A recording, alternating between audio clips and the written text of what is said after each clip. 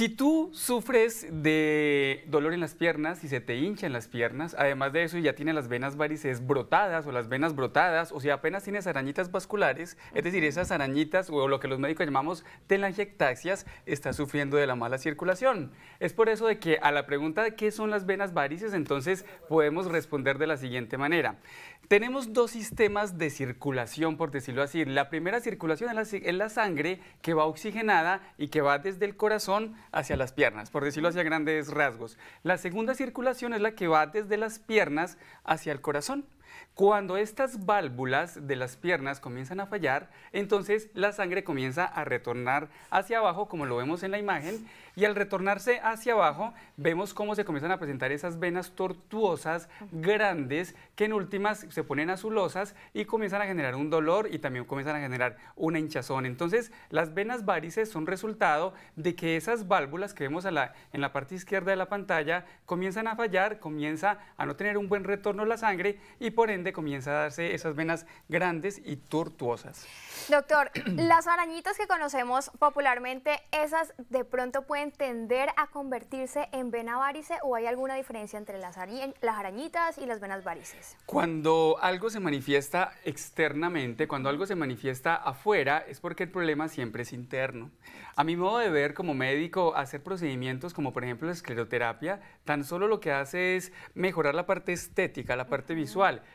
pero el tema interno continúa allí. Por eso son muchas las mujeres que van y, se hacen escleroterapia o algún otro procedimiento para desaparecer esas telangiectasias o esas arañas vasculares, pero con el tiempo vuelven y aparecen. Recuerda, Lady, este problema, como lo vemos en pantalla, tiene que ser tratado desde adentro para que se vea reflejado afuera. Y ya lo estético se puede manejar con escleroterapia, pero lo que yo te quiero demostrar el día de hoy es que tenemos que evitar llegar hasta esas arañas vasculares. Bien, doctor, ¿qué dicen las estadísticas? ¿Cuántas están sufriendo de vena varice? son bastantes. Si nos vamos a hacer puntuales, la insuficiencia venosa afecta aproximadamente un 25% de las mujeres y un 15% de los hombres. Es decir, que es una proporción más o menos de cuatro mujeres, un varón. Además de esto, por encima de los 50 años, el 60% de las mujeres o de los hombres comienzan a sufrir de las venas varices y, y posterior pues con dolor, tipo ardor, como vemos en pantalla. Bueno, doctor, usted acaba de mencionar algo interesante y es que son más las mujeres que sufren de vera varice que los hombres.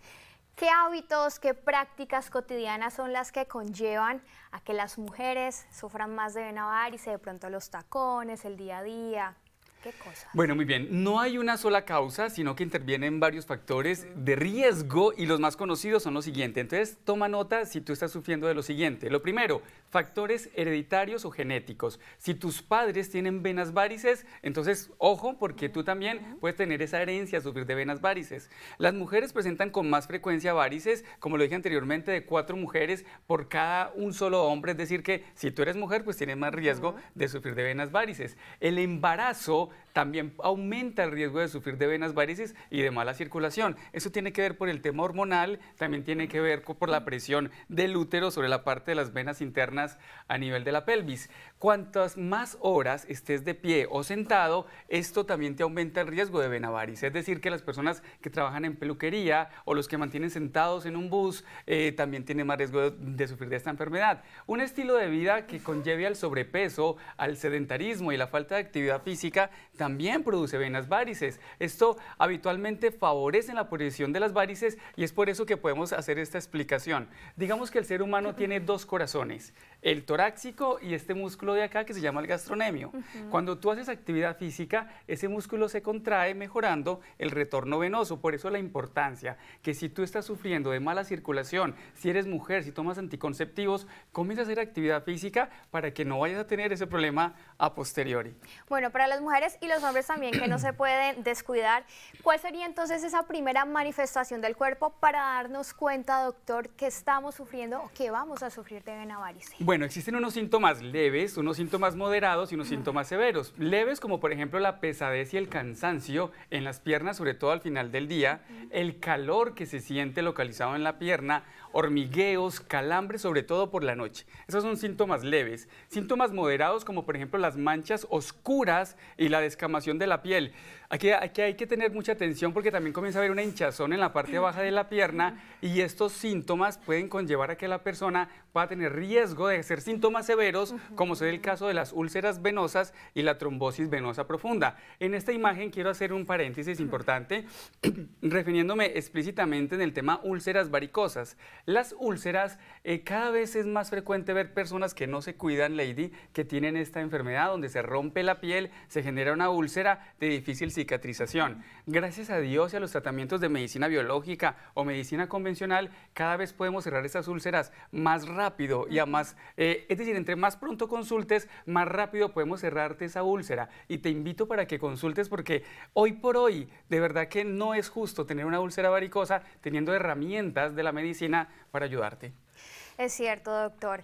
Eh, hablemos de los tratamientos que existen para la vena varice y sobre todo los que ustedes están muy bien.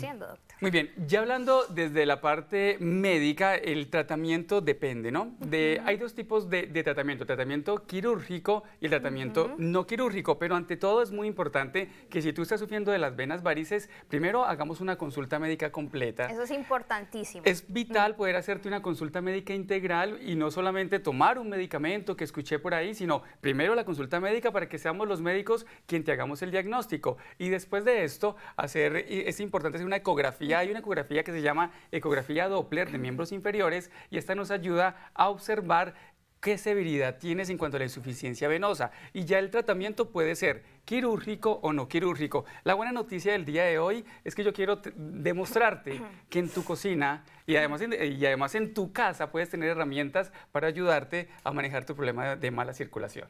Claro que sí, doctor. Ya después de conocer los resultados del diagnóstico, cuáles son los tratamientos que se recomiendan y sobre todo porque cada persona va a tener un caso diferente, ¿verdad? Muy bien.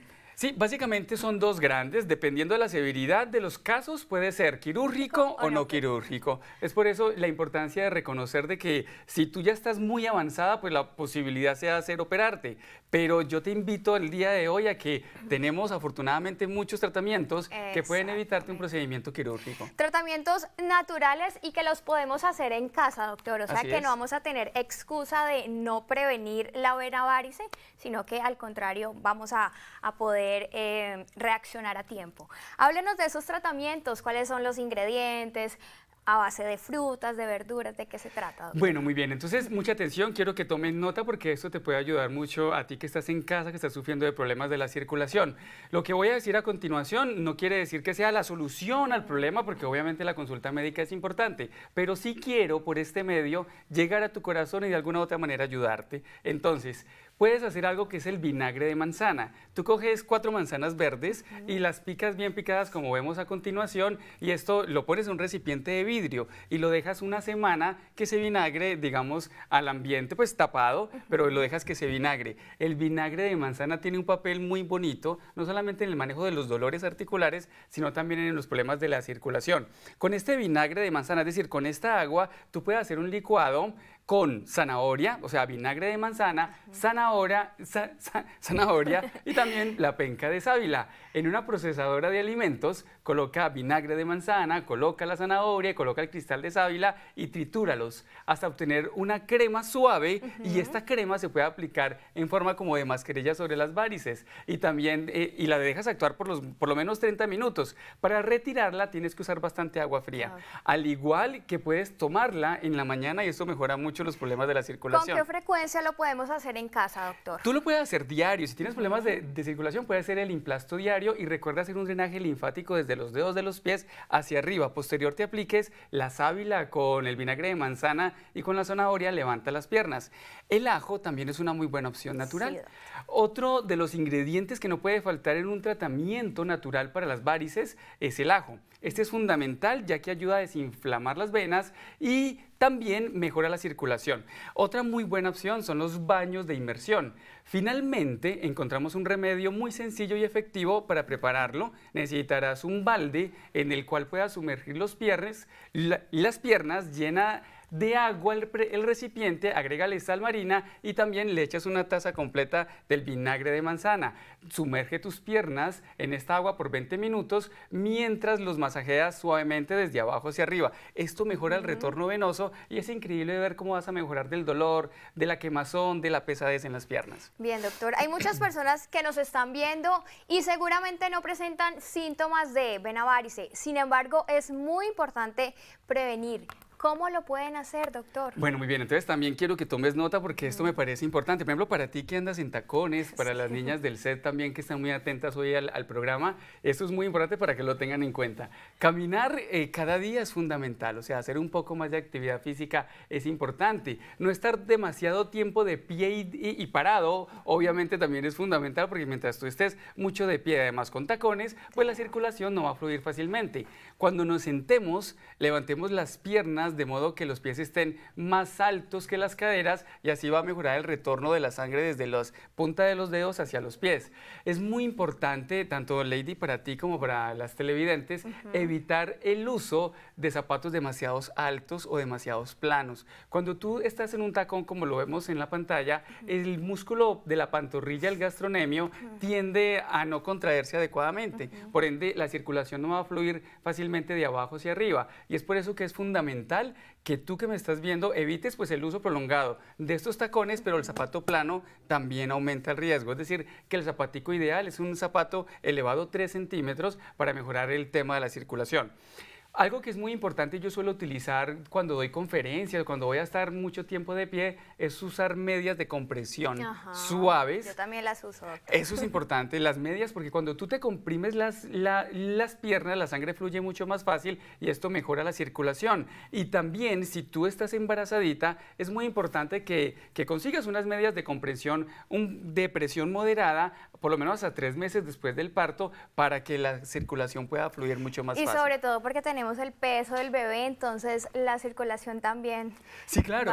Por acción de las hormonas, la progesterona, por ejemplo, también hace de que haya muchos problemas de la circulación. Es muy importante seguir una dieta equilibrada, es decir, una dieta rica en fibra, abundante y buena en hidratación es muy importante. Este, este tema aquí de la hidratación es interesante por dos razones importantes. La primera, como dije, la piel es un órgano profundo. Siempre que tú mantengas bien hidratada, tu piel va a estar bien hidratada. Una de las causas más frecuentes de úlceras varicosas no solamente es el problema de la, de la circulación como tal, sino que también es que la piel está muy reseca. es por eso que es fundamental que tú tomes abundante agua para mejorar el problema de la hidratación.